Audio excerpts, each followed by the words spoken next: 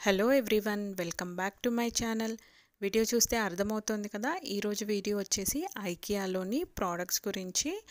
అది కూడా అన్ని బిలో హండ్రెడ్ ప్రోడక్ట్స్ ఏంటి అనేది నేను ఈ వీడియోలో చూపించబోతున్నాను. ఇక్కడ ఐకియాలో ఏంటంటే స్టార్టింగ్ ప్రైస్ వచ్చేసి నైన్టీన్ రూపీస్ మాత్రమే.